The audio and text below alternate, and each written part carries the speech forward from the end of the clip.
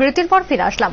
আগামীকাল মান্দা এবং জিরানিয়া ব্লকে স্বাস্থ্য শিবির এবং স্বচ্ছ ভারত অভিযান করা হবে। এই আহ্বানকে সামনে রেখে আজকের একটি বৈঠক বা একটি মিটিং অনুষ্ঠিত হয়েছে, যে মিটিং এর পৌরোহিত্য করেন রাজ্যের তথ্য সংস্কৃতি দপ্তরের মন্ত্রী সুশান্ত চৌধুরী।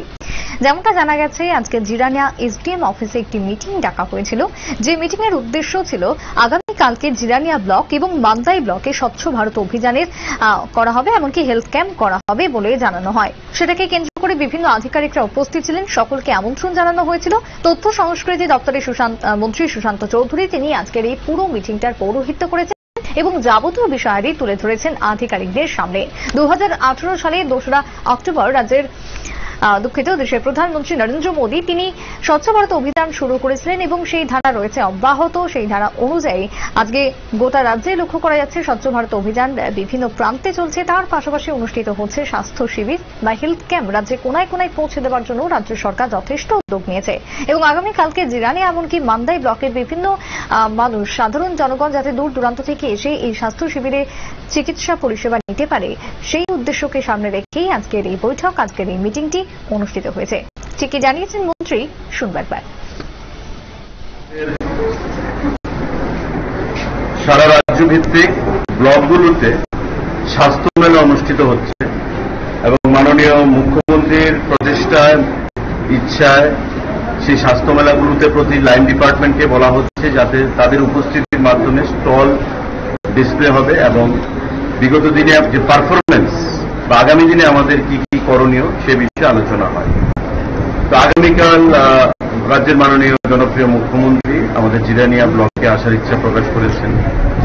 আমরা তড়িঘড়ি লাইন ডিপার্টমেন্টের মিটিং আমরা ডেকেছি আজকে এবং প্রতি লাইন ডিপার্টমেন্টকে এখানে বলা হয়েছে যারা আধিকারিকরা রয়েছেন যাতে তাদের যে পারফরমেন্স বিগত দিনে এবং আগামী দিনে তাদের কি করণীয় রাজ্যের মানুষের, এই এলাকার মানুষের সুবিধার্থে সেগুলো নিয়ে তারা যেন সেখানে যে স্টল থাকবে সেই স্টলে বসার বন্দোবস্ত করেন এবং মুখ্যমন্ত্রী সহ যারা সাধারণ জনগণরা রয়েছেন, তাদেরকে সেগুলো নিয়ে ওয়াকিবরণ করেন। এখানে এসডিএম অফিসে আজকে আমরা মিটিং এ ছিলাম।